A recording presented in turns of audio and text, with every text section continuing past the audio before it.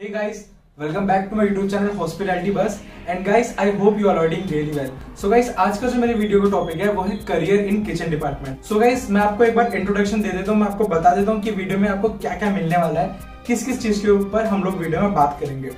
So guys सबसे पहले मैं बताता हूँ हम लोग बात करेंगे वट इज़ किचन डिपार्टमेंट.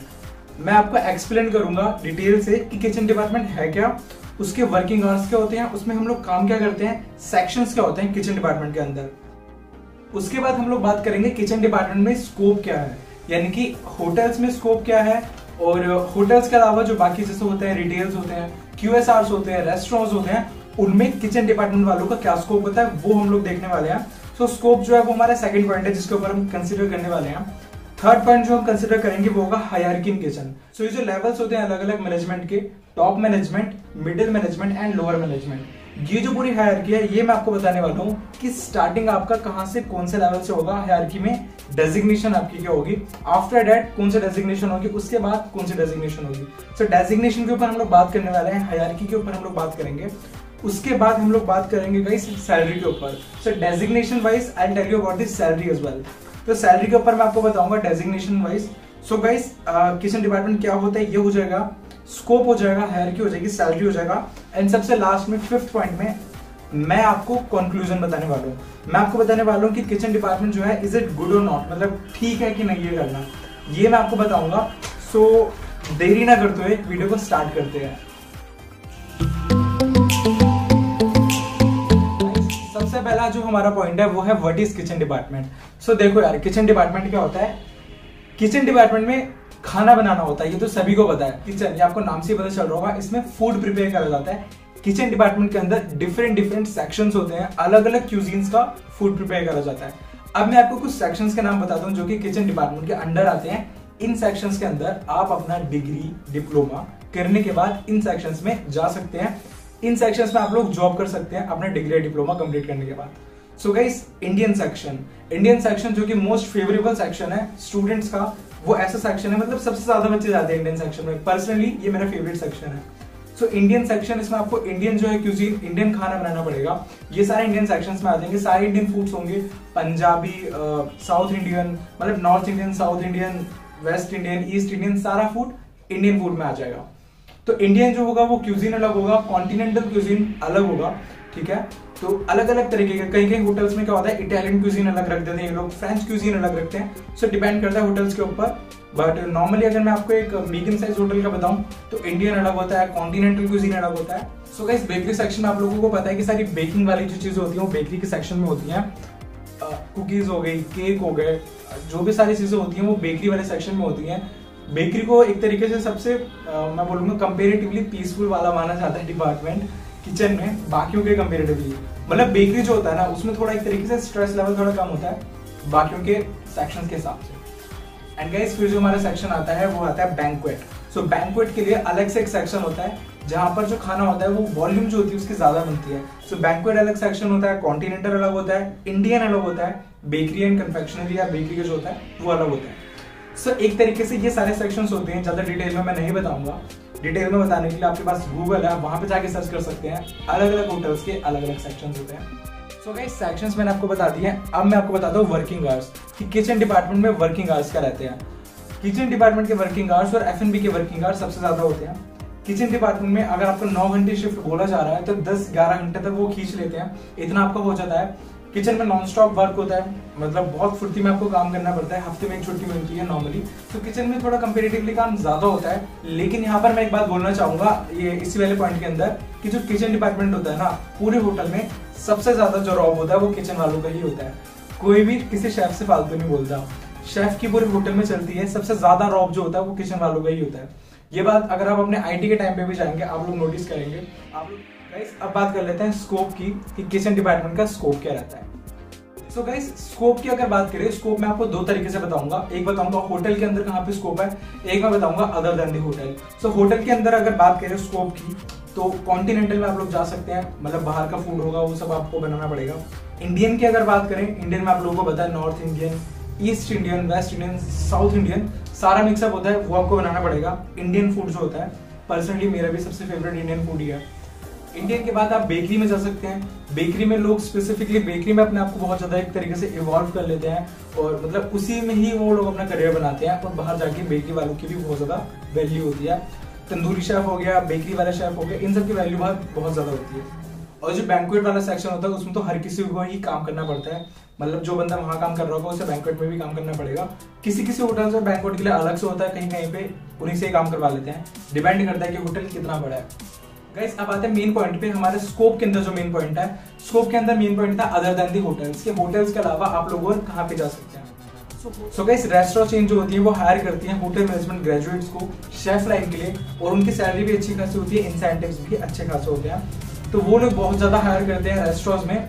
बहुत लोग रेस्टोरेंट में जाते हैं। बहुत सारी फ़ेमस रेस्टोरेंट चेन है, आपको लगता होगा आप सिर्फ़ होटल में जा सकते हैं। अदर देन रेस्टोरेंट चेन आप लोग क्यूएसआर में जा सकते हैं। अब क्यू क्या होता है? क्विक सर्विस रेस्टोरेंट जैसे कि मैगडी हो गया डोमिनोज हो गया बिगनिर वाला हो गया, हल्दीराम हो गया। तो वहाँ पर एक तरीके से 50 परसेंट किचन चाहिए होता है। 25 परसेंट सर्विस और 25 परसेंट फ्रंट ऑफ़िस मिक्सअप होता है। बट किचन वालों के लिए एक तरीके से मैं बोलूँगा अच्छा ही है वो लोग। सब कुछ उसमें मिक्सअप ही होता है। मतलब आपको फ्रंट ऑफ़िस वालों का भी काम करना पड़ेगा सर्विस वालों का भी काम करना पड़ेगा किचन वालों का भी काम होता है। तो वो वहाँ पर वो काम करवाते हैं। और उसमें इंसेंटिव्स वगैरह भी सही होते हैं प्रमोशंस बहुत जल्दी होते हैं। तो क्विक सर्विस रेस्टोरेंट में आप लोग जा सकते हैं। उसके ऊपर भी मैं स्पेसिफिक वीडियो बनाऊँगा। अभी क्यूएसआर के ऊपर हम लोग डिटेल में बात नहीं करेंगे। सो गाइस किचन डिपार्टमेंट के बारे में मैंने आप लोगों को बता दिया है। स्कोप जो है, वो मैंने आप लोगों को बता दिया है। अब चलते हैं हायरकी के ऊपर। यानी कि डेजिग्नेशन कौन कौन से होती हैं किचन डिपार्टमेंट में। सो गैस डेजिग्नेशन की बात करें तो हम लोग स्टार्ट करेंगे कॉमी थ्री से। सो गैस कॉमी जो होता है commis three then commis two then commis one so ये आपको हो गया एक तरीके से एसोसिएट लेवल इसके ऊपर आता है डीसीडीपी अब डीसीडीपी कौन होता है? डीसीडीपी एक तरीके से सुपरवाइजर हो गया. डीसीडीपी से ऊपर आता है सीडीपी सीडीपी एक तरीके से हो गया एग्जीक्यूटिव सीडीपी से ऊपर हमारे आते हैं जूनियर सूशेफ या फिर सू शेफ डिपेंड करता है. डिपेंड करता है कितने होटल्स में जूनियर सू शेफ और सू शेफ होते हैं, उन्हें एक ही जगह पे रखता है मतलब एक ही बंदा दोनों के काम करता है. और कितनी जगह पे? जूनियर सू शेफ अलग होगा और सू शेफ अलग होगा. जूनियर सू शेफ और सू शेफ से आप रिलेट कर सकते हैं एक तरीके से असिस्टेंट मैनेजर वही होते हैं और उनसे ऊपर आते हैं executive chef so executive chef होते हैं जो कि सबसे टॉप की पोस्ट होती है, सबसे नंबर वन जो पोस्ट होती है किचन की। सो एग्जीक्यूटिव शेफ बनने में लोगों को अप्रोक्सीमेटली लग जाते हैं।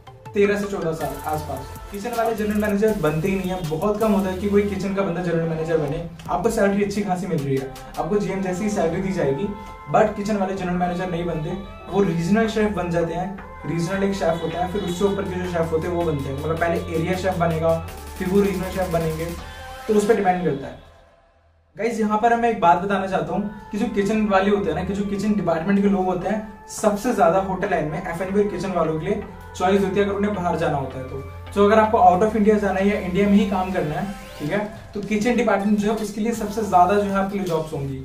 सबसे ज़्यादा किचन वालों के लिए जॉब्स होती है, सबसे ज़्यादा। बट उसके लिए आपको स्किल चाहिए, बिना स्किल के आप किचन में नहीं कर सकते। सबसे ज़्यादा किचन वालों की नीड होती है बट यहाँ पर मैं एक बात बोलूँगा कि प्रमोशन जो होते हैं, वो थोड़ा लेट हो सकते हैं। अगर आपके अंदर स्किल है तो आपका प्रमोशन टाइम पे होंगे अदरवाइज़ अगर आपके अंदर स्किल डेवलप नहीं हुई है या सीडीपी या सू शेफ के लेवल की तो आपके प्रमोशन एकदम से नहीं होते। आपको एग्ज़ाम्स क्लियर करने पड़ते हैं इंटरव्यू क्लियर करनी पड़ती है, वो स्किल्स आपके अंदर होनी चाहिए। सो उसी के बेस पर आपके प्रमोशन होते हैं एंड प्रमोशन के बेस पर ही आपकी सैलरी इंक्रीज होती है। बट एक चीज़ मैं बोलूँगा कि किचन डिपार्टमेंट पर्सनली मुझे ऐसा लगता है कि बहुत अच्छा डिपार्टमेंट है। किचन वाले जो होते हैं, वो क्रूज में भी जा सकते हैं। क्रूज में तो सबसे ज़्यादा किचन वालों की ही नीड होती है। और इतनी अच्छी खासी सैलरी मिलती है ना यार क्रूज में। सो गाइस किचन वाले जो होते हैं, वो क्रूज शिप में भी जा सकते हैं। क्रूज के ऊपर मेरी कोई अलग से हो सकता है स्पेसिफिक वीडियो बनेगी। मैं नहीं चाहता मैं थोड़ी सी इन्फॉर्मेशन देकर आपको कंफ्यूज करने के लिए। डिटेल से एक वीडियो बनाऊँगा क्रूज के ऊपर बट अभी के लिए बता देता हूँ कि किचन वालों की क्रूज में बहुत ज़्यादा नीड होती है। बहुत ज़्यादा लोग क्रूज में जाते हैं किचन का करके, और अच्छा खासा करियर होता है क्रूज में भी। सो गाइस किचन डिपार्टमेंट क्या होता है? उसके अंदर में सेक्शंस क्या होते हैं? वर्किंग आवर्स क्या होता है? मैंने आपको बता दिया है। स्कोप मैंने आपको बता दिया है। हायर की मैंने आपको बता दिया है। अब चलते हैं अपन लोग सैलरी की तरफ़ कि सैलरी क्या होती है किचन डिपार्टमेंट में। सो गाइस सैलरी इतना ज़्यादा इंपॉर्टेंट पॉइंट होता है ना कि हर किसी को लगता है कि यार सैलरी क्या होगी, ये तो बताओ। सो सैलरी जो होता है वो बहुत इंपॉर्टेंट फैक्टर होता है, जिसके बेस पे हम किसी भी प्रोफेशन में, किसी भी आगे जो है एक करियर में हम लोग एक स्टेपिंग करते हैं। तो गाइज़ स्टार्टिंग जो होती है, वो पंद्रह हज़ार से ही होती है, बाकी डिपार्टमेंट की तरह। बट जो सैलरी होती है, वो किचन वालों की कंपेरेटिवली ज़्यादा होती है, बाद में जाके। ठीक है? किचन वालों की सैलरी बाद में जाके थोड़ी ज़्यादा होती है। किचन वालों को इंसेंटिव भी अच्छे खासे मिलते हैं, क्योंकि वो लोग खाना बनाते हैं तो इस तरीके से जो भी इंसेंटिव आता है प्रॉफिट आता है, उसका पार्ट उनमें थोड़ा ज़्यादा बांटा जाता है। सर्विस वालों को तो मिलता ही मिलता है किचन वालों को भी इक्वली उसमें से जो है प्रॉफिट मिलता है। सो so गैस यहाँ पर मैं एक बात बोलना चाहूँगा कि किचन अच्छा खासा डिपार्टमेंट है। अगर तुम किचन में करियर बनाना चाहते हो तो एच ज़रूर करना, बहुत अच्छा खासा डिपार्टमेंट है। बहुत अच्छा स्कोप है आउट ऑफ़ द वर्ल्ड बहुत अच्छा स्कोप है। क्रूज शिप में आप जा सकते हो ऑलरेडी आपको बता चुका हूँ। Restaurant chain Q S R आपको बता चुका हूँ। हेयर की आपको बता चुका हूँ। प्रमोशन में थोड़ा टाइम लग सकता है otherwise it's a really good department मतलब काफ़ी अच्छा जो है डिपार्टमेंट है किचन डिपार्टमेंट तो ग्रेजुअली पंद्रह हज़ार से वो स्टार्ट होती है और बढ़ती जाती है। आपको अगर मैं एक अप्रोक्सीमेटली ऐसे बता देता हूँ, पाँच साल, दस साल या पंद्रह साल बाद कितनी होगी। आपने पंद्रह हज़ार से स्टार्ट करा फ़र्स्ट ईयर में। पाँच साल बाद आपकी सैलरी हो सकती है अप्रोक्सीमेटली अगर आप सही से चलते हैं मतलब आपके सारे प्रमोशन सही से हो रहे हैं। तो पाँच साल बाद आपकी सैलरी हो सकती है सेवेंटी थाउज़ेंड के आसपास after five years and after ten years आपकी सैलरी हो सकती है सवा लाख के आसपास। किचन में, ये मैं अदर देन प्रॉफिट्स बता रहा हूँ अदर देन इंसेंटिव्स बता रहा हूँ। तो गाइस हो सकता कि आप अपने इलेवंथ या ट्वेल्थ ईयर में आके दो तीन लाख रुपए कमाने लगो। पंद्रह साल तक जाते जाते आप लोग कमाने लग जाओ, पाँच छह लाख, सात लाख, आठ लाख। सो ये सब आपकी स्किल्स के ऊपर डिपेंड करता है, आपके कितने जल्दी प्रमोशन होते हैं, उसके ऊपर डिपेंड करता है। बट अच्छे खासे जो है हम लोग पैसे कमा लेते हैं। अगर आप किचन के लाइन में जा रहे हो तो आप अच्छे खासे पैसे कमा लोगे। गाइज़ लास्ट पॉइंट है हमारा कंक्लूजन सो कंक्लूजन बताना ज़रूरी था कि इज़ इट गुड और नॉट सो कंक्लूजन में अभी मैं आपको बता देता हूँ किचन डिपार्टमेंट मेरे हिसाब से अच्छा है कि नहीं। सो गाइस मेरे हिसाब से बहुत अच्छा डिपार्टमेंट है बेस्ट डिपार्टमेंट है बट सीन यहाँ पर एक होता है कि इसमें सिलेक्शन थोड़ा कम बच्चों का होता है। स्किल जो होती है, देखो, बच्चे याद कर लेते हैं थ्योरी याद कर लेते हैं बट प्रैक्टिकली उन्हें खाना बनाना नहीं आता। तो अगर आपके अंदर वो स्किल है, आपको लगता है कि आप खाना अच्छा बना सकते हैं। जब आपका टेस्ट होता है खाना बनाने का, अगर आप उसमें अच्छा खाना बना देते हैं तो आपका इंटरव्यू सिलेक्ट बहुत आसानी से हो जाता है। जो नहीं बना पाते, उनका नहीं होता। सो खाना बनाना आपको आना चाहिए, तभी आपका किचन में इंटरव्यू में आपका सिलेक्शन होगा। Otherwise it's a really good department आप विदेश में जा सकते हैं, अच्छी खासी सैलरी मिलती है। क्रूज शिप में तो बहुत ही ज़्यादा पैसे मिलते हैं। क्रूज के ऊपर अभी मैं अलग ही वीडियो बनाऊँगा। क्रूज में अच्छे खासे पैसे मिलते हैं यार। और क्यू एस आर में आप जा सकते हैं रेस्टोरेंट में जा सकते हैं। रेस्टोरेंट में बोलूँगा रेस्टोरेंट चेंज जो होती है, उन्हें शेफ जो होते हैं होटल लाइन वाले, बहुत जल्दी प्रमोट करते हैं वो लोग उन्हें। और सैलरी बहुत अच्छी देते हैं रेस्टोरेंट वालों को। तो गाइस पर्सनली मेरे हिसाब से आपको किचन डिपार्टमेंट में जाना चाहिए। बहुत अच्छा डिपार्टमेंट है। अगर आपको विदेश जाना है ना तो आप किचन डिपार्टमेंट चूज़ कर लो। अगर आपको लगता है कि आपके अंदर इंटरेस्ट है, आप खाना बना सकते हैं तो तो फिर आप ज़रूर जाओ किचन डिपार्टमेंट में, क्योंकि विदेश जाने के लिए बहुत ज़्यादा अपॉर्चुनिटीज़ मिलती है। तंदूर शेफ हो गए बेकरी शेफ हो गए, खासतौर से इनका मैं बता रहा हूँ इनकी बाहर बहुत ज़्यादा नीड होती है, ठीक है? तो अच्छी खासी जॉब निकलती है, अच्छी खासी सैलरी मिलती है वेल सेटल लाइफ होती है। इंडिया में जो है थोड़ा घसीटा जाता है किचन वालों को। लंबी शिफ्ट आर होते हैं, बहुत ज़्यादा काम करवाया जाता है। ट्रेनिंग टाइम पे आपको पता चलेगा कितना ज़्यादा काम करवाया जाता है। बट इंडिया में ही ऐसा है, बाहर ऐसा नहीं है। और इंडिया में भी स्टार्टिंग के लेवल पे है। जब आप एक अच्छी मैनेजरियल पोस्ट पे आ जाते हैं ना तो फिर आपको इतना काम नहीं करना पड़ता। काम जो होता है वो आसान हो जाता है। सो गाइस पर्सनली मेरे हिसाब से किचन डिपार्टमेंट एक काफ़ी अच्छा डिपार्टमेंट है। आप लोग ऑप्ट कर सकते हैं इसे अगर आप लोग चाहें तो। सो गाइस मैंने अपने इंस्टाग्राम पे भी ये एक तरीके से पोल डाला था और उसमें मैंने पूछा था कि आपको किचन डिपार्टमेंट की वीडियो चाहिए या एडवांटेजेस ऑफ़ होटल मैनेजमेंट की वीडियो चाहिए। इक्वली रिस्पॉन्स आ रहा था? और गाइस मुझे ऐसा लगा कि फ्रंट ऑफ़िस की वीडियो ऑलरेडी डल चुकी है एफएनबी की डल चुकी है तो किचन वालों की वीडियो भी डाल ही देते हैं। सो so गाइस आप लोग इंस्टाग्राम पे फॉलो कर सकते हैं, कोई क्वेरी है तो पूछ सकते हैं। फेसबुक पे भी हमारा पेज है, आप लोग वहाँ पे भी जाके हम लोगों को फॉलो कर सकते हैं। सो so गाइस अगर आपने अभी तक मेरे चैनल को सब्सक्राइब नहीं करा तो सब्सक्राइब कर दो, क्योंकि अगर आपको ऐसा लगता है ना कि मेरी वीडियोस अच्छी हैं और आपको इससे रिलेटेड जो है टॉपिक्स ऐसे मिल जाते हैं मतलब जिनसे आप बहुत ज़्यादा रिलेट कर सकते हैं और आपको लगता है कि इस चैनल को सब्सक्राइब करना चाहिए, आगे और आपको वीडियोस देखनी है तो ज़रूर सब्सक्राइब करना मेरे चैनल को। बाकी मिलते हैं नेक्स्ट थर्सडे को नेक्स्ट वीडियो में। तब तक के लिए thanks for watching have a nice day